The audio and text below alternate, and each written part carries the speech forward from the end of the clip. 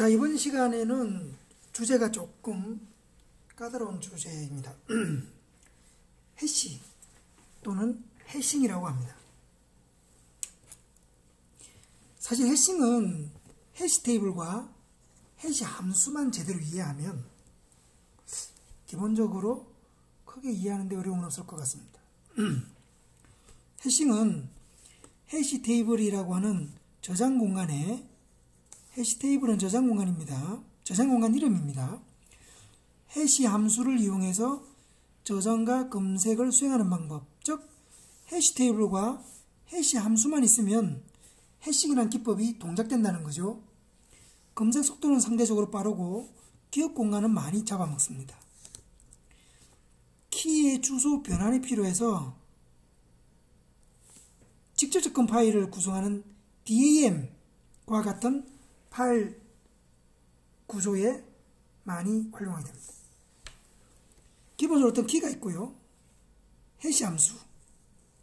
해시 함수를 이용해서 주소를 변환한 다음에 버켓이라고 하는 해시 테이블에다가 저장하고 관리하는 겁니다. 자, 먼저 해시 테이블을 먼저 볼게요. 해시 테이블과 해시, 해시 함수를 정확하게 이해하면 된다고 그랬어요. 해시 테이블은 데이터를 보관할 수 있는 버킷으로 구성된 기억 공간입니다.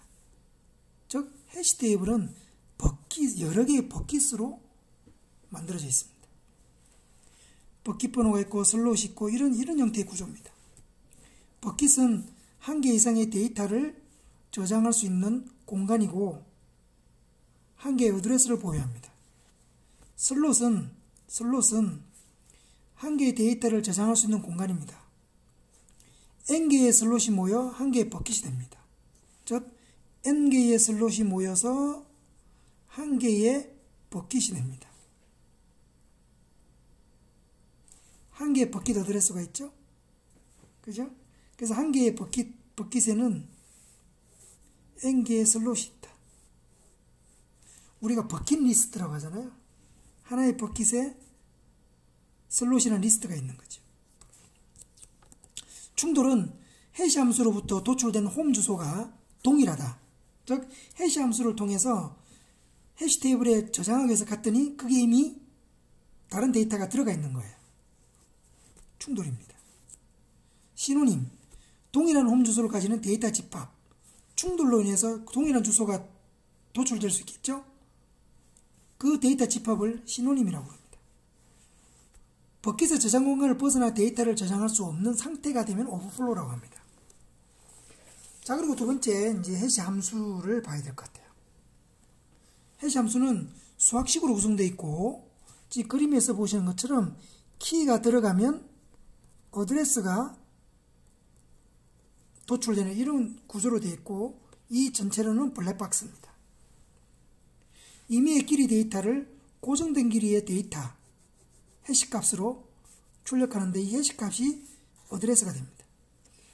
해시 테이블에 데이터를 적재하기 위해서 해시 함수는 해시키를 이용해서 주소값을 추출하게 됩니다. 해시키는 해시 함수가 주소값을 계산하기 위해 사용하는 키값을 말하고요. 이게 해시키입니다. 해시키. 주소값은 버킷의 홈 주소입니다. 즉 버킷의 홈 주소가 나온다는 거죠. 그러면 이 조금 전에 제가 블랙박스로 표현한 요 안을 움직이는 알고리즘들이 있습니다.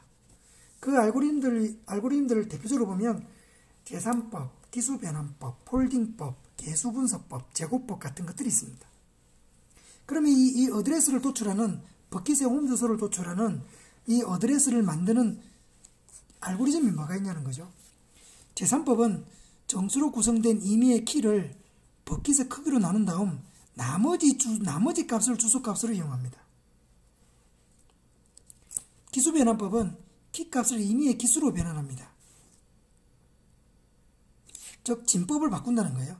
10진법을 16진법으로 바꾼다든지 해서 주소 값을 도출합니다. folding법은 키 값을 여러 조각으로 나눈 다음 조각을 합하거나 XOR 처리해서 주소 값을 추출합니다. 보시면 이동 folding, 경계 folding 있죠? 세 개로 나눈 다음에 다 더하거나 그죠? 그 다음에 경계를 중심으로 접거나 경계를 중심으로 접었죠?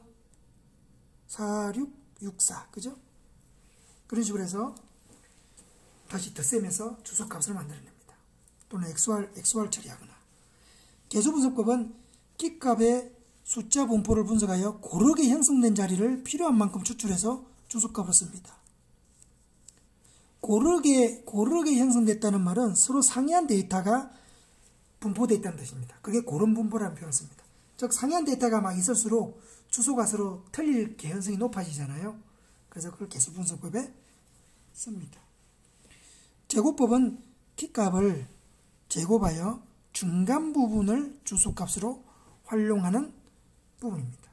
제곱하여 중간 부분. 즉, 이런 식으로 다양한 알고리즘이 존재하는 이유는 결국은 주소 충돌을 막기 위한 거거든요.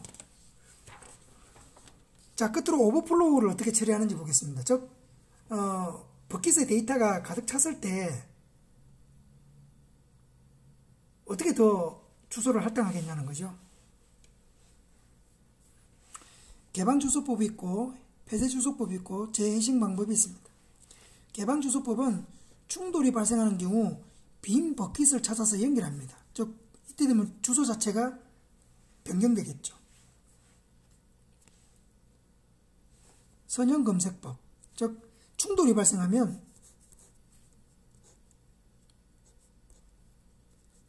충돌이 발생해서 오버플로가 나면 선형 검색 같은 경우는 그 다음 버킷을 찾습니다. 비었는지 한번 확인합니다.